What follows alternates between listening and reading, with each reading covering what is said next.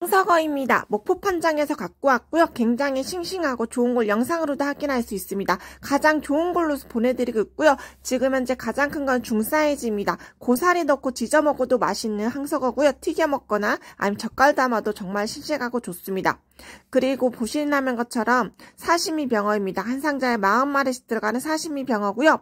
손도가 굉장히 좋습니다. 횟감용이고 당연히 구이 횟감용 가능합니다. 안강망배에서 조업한 사시미 병어 정말 싱싱하고 좋습니다. 정말 지금 병어철입니다.